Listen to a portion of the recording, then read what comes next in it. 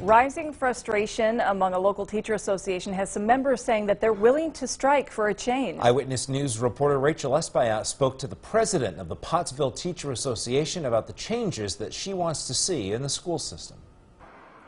Amy Babcock has been a teacher for the Pottsville School District for about 11 years. Recently, she and others in the Pottsville Area School District Education Association are worried about the decline she's seen in school resources and growing class sizes. As an association, we're really concerned with the direction that the district is going.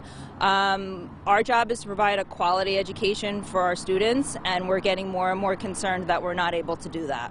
At a school board meeting Tuesday night, the association expressed their frustrations by presenting a no confidence vote in Superintendent Jeffrey Zwiebel. The association also took a vote to authorize a strike if things get to that point.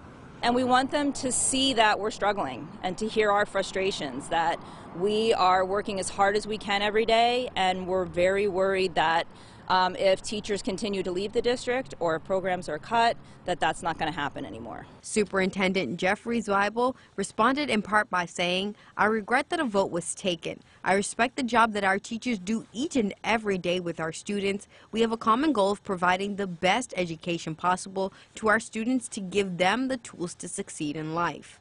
Tara Davis has three kids who attend school in Pottsville. It's their first year in the school system, so hearing about Tuesday's votes raises some concerns. So far, it's been a very positive experience at the school here. So I hope that things go well and they come to some type of agreement.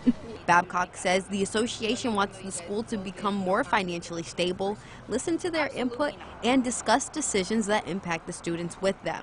They hope these votes are a stepping stone to get back on the same page to provide students with the best education possible. In Pottsville, Rachel Espaillat, Eyewitness News. There are about 180 teachers in the Pottsville Area School District Education Association.